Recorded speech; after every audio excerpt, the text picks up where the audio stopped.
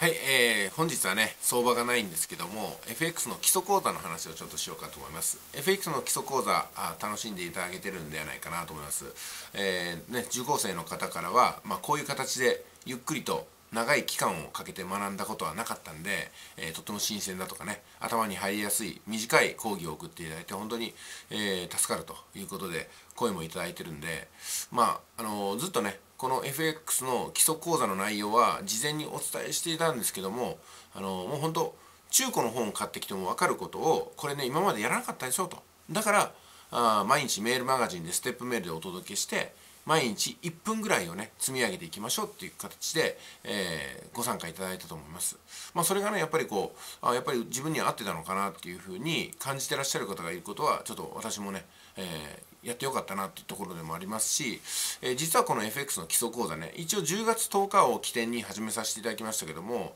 13日に始めても15日に始めてもこれはできるわけなんですよ。ですのでこの動画を見てね FX の基礎講座今からできるのかなって方今から参加もできますただし例えば10月の16日に参加したとしたら10月の16日が第1講義が送られてくる日になってきますんで最初10月10日から参加した方と比べると1週間のタイムラグが生じます。でも中間テストも期末テストも受けれますしそのための対応を私ずっとやってきますんで特にいつ受講されても差はありません。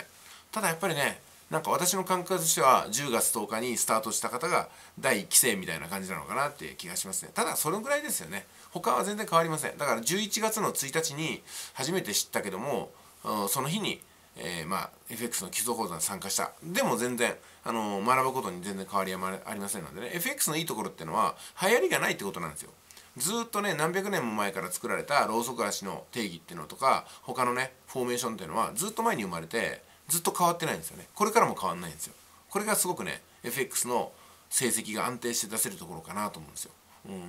だからすぐにね新しい、えー、情報が入ってきたりとか新しい理論とか理屈ができちゃうとそれに合わせてねついていかないといけないんですけども FX の理論理屈はずっとそこにとどまってますんでね。自分が頑張るだけだということなんですよね。えー、ということでね FX の基礎講座。もしねご参加希望の方がいらっしゃいましたら動画概要欄に一応アンケートをね、え、書いてます。お名前とメール。うん、こちらの方をご記入いただいたら私がね毎日そこをチェックしに行ってあ新しい方があ希望出されてるなってことでアプローチしてメッセージを送らせていただいてね、えー、その基礎講座受講されるようでしたらあお振り込みの方こちらですよっていう形でお届けすればあとはもうお振り込みと完了と同時にですね、えー、追加参加ということになりますんで参加はいつでもできます、うん、でここからね余談なんですけどもあの持続化給付金っていうねあの個人事業主とか法人に100万200万っていうのが今年ありましたけどもで今でもあるんですけどもね来年は来年でこれ予算が組まれるそうなんですよ。となるとですよ本当にそうなると FX を事業としてされてる方ってこれどうなんですかね？なんか勝ってる時と私ね10月はっきり言ってこれねマイナスで終わると思うんですよ初めて。